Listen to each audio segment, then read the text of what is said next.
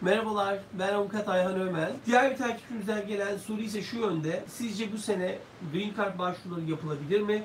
Ve Green Card sürecindeyken Green Card değişikliği yapılma riski olabilir mi? Yoksa başvuruların sonuçları beklenir mi? Süreç yanar mı? diye bu takipçimiz soruyor. Şu an için bir engel gözükmüyor. Dolayısıyla bu sene e, gerekli çekiliş başvuruları yapılacak gibi gözüküyor ve seneye de onun cevabını alıyor olacaksınız.